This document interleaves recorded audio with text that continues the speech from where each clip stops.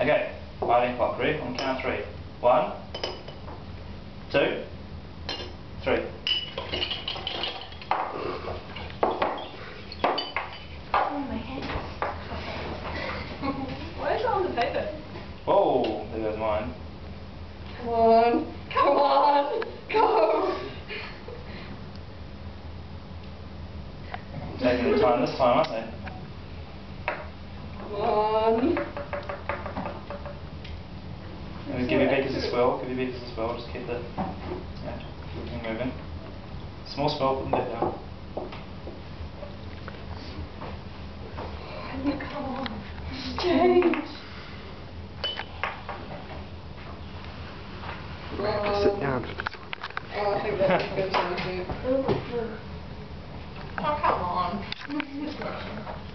Three, two. Uh, oh, there we go. Oh. Okay, so you're still not all perfect, no?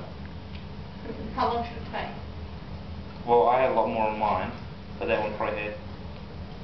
So what, the one that goes slowest is the one that's most perfect? Well, not really. No, I mean, if they were all perfect, they're all got at the same time. So because they're all different, um, it shows you've got different amounts and all your. Oh, Yay!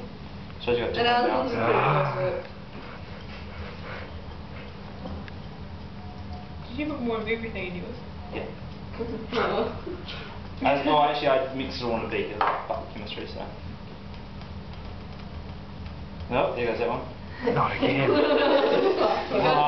Again. Last again. Does that mean it's least exciting?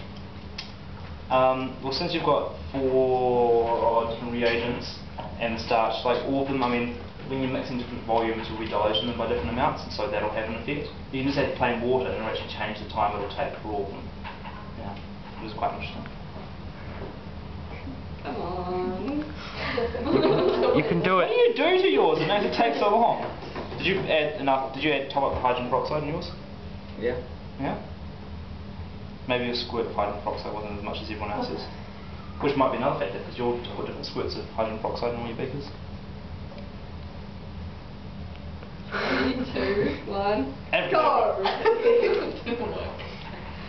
Oh, please.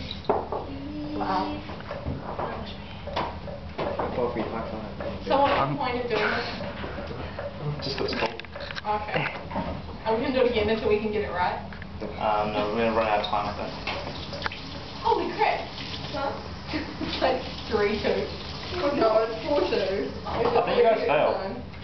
Yeah. Uh, Come There you go. on. I put the starch in there, right? Yes. yeah, that's it. Put some more. More. More. Okay, so the starch in there.